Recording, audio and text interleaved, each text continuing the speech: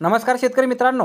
आत्ताच्या व्हिडिओमध्ये आपण पाहणार आहोत अहमदनगर जिल्ह्यातील महत्त्वाच्या अशा कृषी उत्पन्न बाजार समिती नेवासा गोडेगाव येथील आजचे म्हणजे दिनांक वीस मार्च दोन हजार तेवीसचे कांदा बाजारभाव.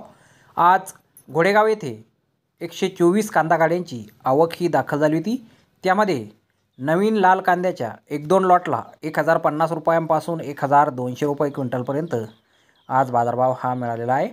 तसेच मोठा कलर पत्तीवाला कांदा नऊशे पन्नास रुपयांपासून एक हजार पन्नास रुपये क्विंटलपर्यंत विकला आहे मुक्कल साईज कांद्याला आठशे पन्नास रुपयांपासून नऊशे रुपये क्विंटलचा भाव मिळाला आहे तर गोल्टा कांदा सातशे रुपयांपासून आठशे पन्नास रुपये क्विंटलपर्यंत आज घोडेगाव येथे विकला गेला आहे गोलटी कांद्याला चारशे रुपयांपासून सहाशे रुपये क्विंटलचा भाव मिळाला आहे तर जोड कांदा एकशे पन्नास रुपयांपासून दोनशे रुपये क्विंटलपर्यंत विकला आहे आणि हलका डॅमेज क्वालिटीचा कांदा शंभर रुपयांपासून दोनशे रुपये क्विंटलपर्यंत आज कृषी उत्पन्न बाजार समिती नेवासा गोडेगाव येथे विकला गेलेला आहे.